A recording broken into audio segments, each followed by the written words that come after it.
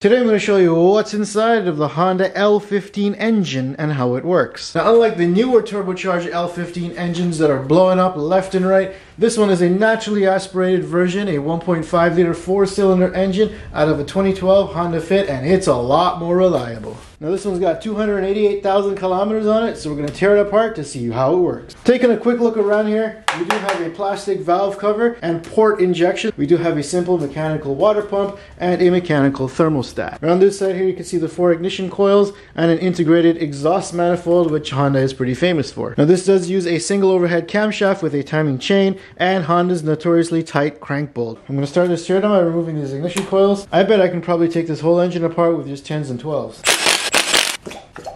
Now the fuel rail is already loose, so let's see if we can pop that off. Oh, there's gas. The injectors stayed inside of there. Let's see how hard it is to get these injectors out. Alright, let's get this valve cover off. Let's remove this valve cover. Now as you'd expect, the valve cover is pretty clean and it's actually simple. We just got one baffle over here and one PCV line that connects to it. Taking a look under the hood of this valve cover right away, this definitely could have benefited from a valve adjustment. That tapping noise would have made this engine quite loud, which you would adjust with this nut over here. Now on the intake side here, we do have VTEC, which is Honda's variable valve lift, and that has two rocker arms, one over here and one here, that control two different heights of cam profiles respectively. Now on the exhaust side, we just have a single rocker arm for each valve that follows the same cam profile. Also to note, this does not have variable valve timing because it's a single overhead camshaft, and over here on the intake side, side is where the VTEC solenoid would mount up to. Now you don't have to remove this contraption here in order to get to the head bolts, which is nice, but I'm going to remove it anyway so we can take a look at that cool looking camshaft. I'll just pull this contraption off here. Underneath that VTEC contraption, you can see you've got multiple cam profiles. These two outside ones here feed the exhaust side, while these two middle ones here are different heights and they feed the intake side. This one's lower than the other one, so if you just want more air at higher RPM, lock onto the middle one and you're gonna get more power. Now, if you want a more dedicated video on how VTEC itself works, check out my video linked above. Now, this is as far as I can get on the top half of the engine, and that's because this camshaft installs in this way into these bearing surfaces as opposed to having having cam caps. Therefore, I need to take the chain off and slide it out. And to do that, I gotta take the cover off and that crank bolt. I don't know why they always make these things so hard to get up. Wait, Never mind. So I broke this crank bolt free by sticking something in the flywheel before I put this on the engine stand. So I luckily don't have to deal with that. So we'll just take this off here. Alright, let's start on the accessories by getting the water pump out. Alright, I wonder how much coolant is actually in here. Oh, there's coolant. And it's green Honda coolant, which is great. While we're on the subject of cooling, let's get the thermostat housing on. Very typical thermostat, very crusty as well. Let's get this coolant manifold off where it goes into the head.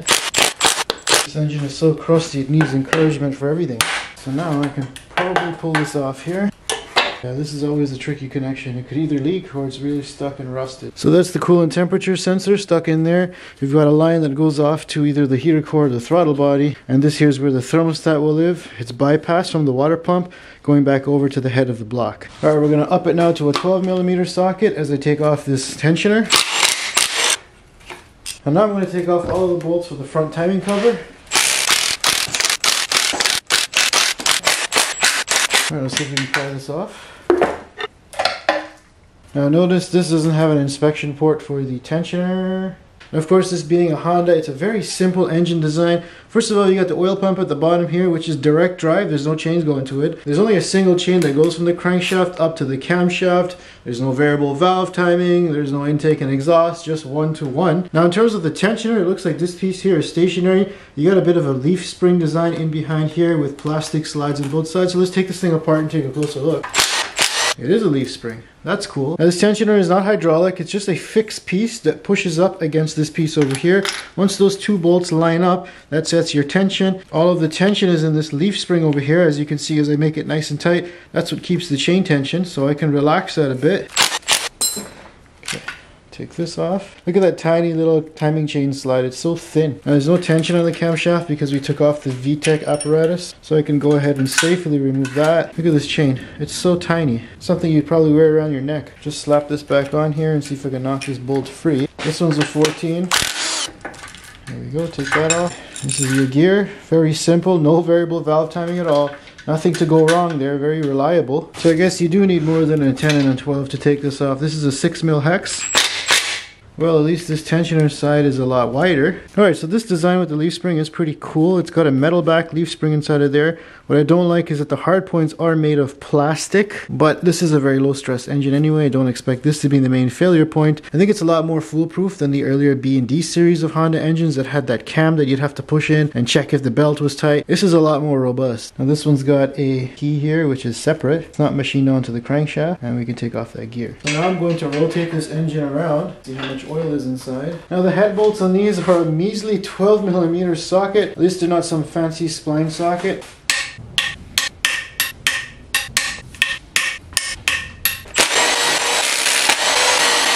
It's a measly little noodle of a bolt. That's what's holding your engine head together. Alright, let's see if I can get this head off. Now the head gasket on this is a three layer steel and it looks fine. I don't see any breaches. This was a running engine. However, when you start to look at the condition inside this engine, things are not looking all that great. We do have a bit of carbon buildup on the pistons as you'd expect. There are some vertical scratches here that look like rust marks. Uh, inside of here I wiped this one off, but you can still see the cross hatching is not that great. And as you can see at the edges here, there are steel liners inside of here, as you can see by the rust. It's not just a coating like newer engines. I'm gonna rotate this engine over. Oh my god, it does not feel good. Feels very sticky. Yeah, looking inside of here, you can see there's a lot of crumbs in here. The intake was left open, sitting outside for a while. If I use my son's bib here and try to wipe up some of this stuff here, you can see that the cross hatching inside of there is not ideal. It is definitely a high mileage engine.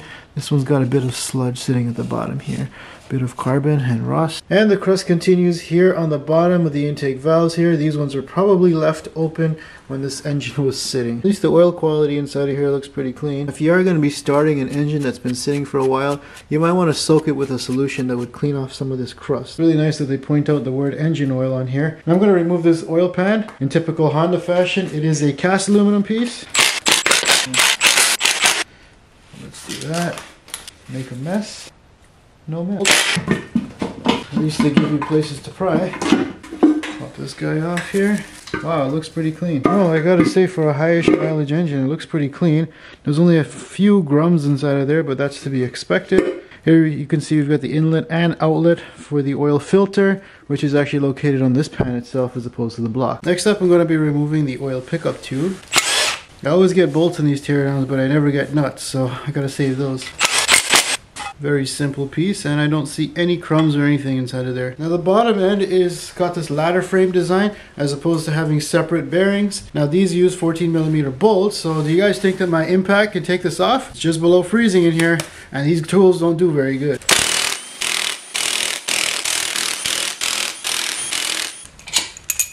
Oh, we got two bolts going into the oil pump here. Might as well have just taken out the whole oil pump first pop off the oil pump. Very simple direct drive oil pump. Essentially you've got oil coming in here from the pickup tube and exiting over here to go directly into the block and this is likely a gear style oil pump. Alright now let's see if I can get this bottom ladder off. Only Honda gives you these nice pry points.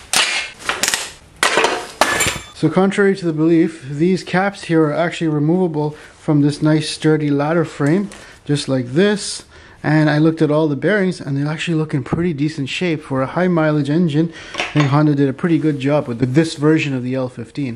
So much for these fasteners being easy. These are the last set on the connecting rod caps and they have a socket that I don't need, which is an 8mm 12 point socket. So I do have a wrench that's 8mm and it's got a 12 point socket on the end there. So watch me struggle as I try to get this loose. Now they're loose, I'll just use a regular 10 mil and zip that off. Connecting rod cap. Wow, look at that bearing. It looks beautiful. And now I'm going to pop these pistons down. Take out these connecting rod caps. Pop these rod bearings off. I gotta say, for 285,000 kilometers and no scratches on it, this is pretty good. I'm gonna pop these two pistons down.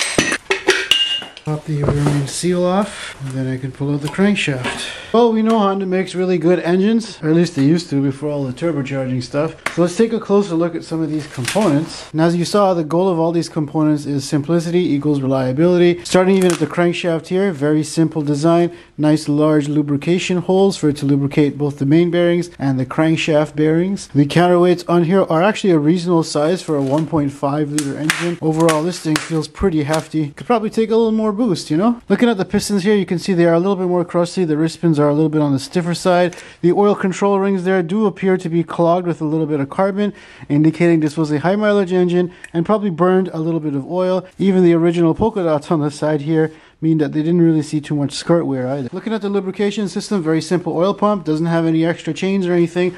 Oil in, oil out, goes straight into the block over here to this hole. This hole is going to go into the pan where it's going to get filtered out and sent back in through this hole over here. That hole is then going to correspond with an oil galley that's drilled across the length of the block here. That's what's going to feed all of the crankshaft bearings as well as the connecting rod bearings through the crankshaft. There are no piston oil squirters in this one to help with cooling and lubrication. Instead, you can see there's these little notches on the connecting rod itself that'll help spray some of that oil upward to help cool that cylinder liner. Now teeing off of that main oil galley is our oil feed that's going to go to the head at the interface of the head gasket. And inside of here you can see there's a piece of plastic that sits in there. And as you can see it's also an open deck design, very good for cooling. This is a low power engine, so you don't really need to have supports in between here. So the PCV system is integrated in the block over here, just behind the starter, with this being the PCV valve. So let's take off these turns and take a look. As you can see, oily air is going to come up from the crankcase as those pistons move up and down and be passed through this baffle system over here, hopefully allowing the oil to settle and drain back down into the sump. Usually that doesn't happen though. And then it's going to exit over here where we have the PCV system. This has a little check ball inside, which once again, hopefully does not allow oily air to enter the intake, but oftentimes it does. Now the cooling system in this engine is very straightforward. We've got the water pump that sits over here on the block, which is the same size and shape as something I'm very familiar with. It looks like this. These use metal impellers, which will be nice and sturdy, and it's driven off of the serpentine belt and not no timing belt like older Hondas. And that's going to pump coolant directly into the cooling jackets on the block. And then of course on the backside we had that pipe with the thermostat and its bypass that goes over to the coolant sensor and the coolant hoses that go to warm up the cabin. Taking a look at the head here, very simple. We have coolant that's going to come from the block around the valves here and exit out this way to be recirculated. Condition of these valves are a bit crusty, but this didn't have an intake on it, so it's very likely moisture got inside. What's also pretty cool about Hondas is that they integrate the manifold into the head casting itself. There's also this extra bore on the side here for what looks like an EGR system. That bore leads up to this other side here, where I'm sure the intake bolts up to and sucks all that oily air back into the intake. Look at how clean those valves are. That's one of the benefits of having port injection. You can keep everything nice and clean and not have to open it up every so often to clean it out. Perhaps the most complicated thing on this engine is the VTEC system. Essentially, we've got oil that's going to feed the head for lubrication. That's going to be chamfered off here to, to the VTEC solenoid. And that in turn is going to bring oil up inside of this assembly here where we have the rocker arm assembly. I'm going to remove this end cap here where the camshaft is. Hurts extra when it's cold outside. So that tab just broke off and just like my fingers, it's hurting pretty bad. All right, so I was able to beat that cover off.